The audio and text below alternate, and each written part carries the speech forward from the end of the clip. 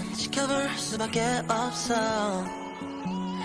끝이 날 건지 아닌지는 너의 말 한마디로 결정돼 으틀 봤던 싸늘한 느낌 그저 착각일지도 여기서 알아갈 수 있어 Do you even love me now?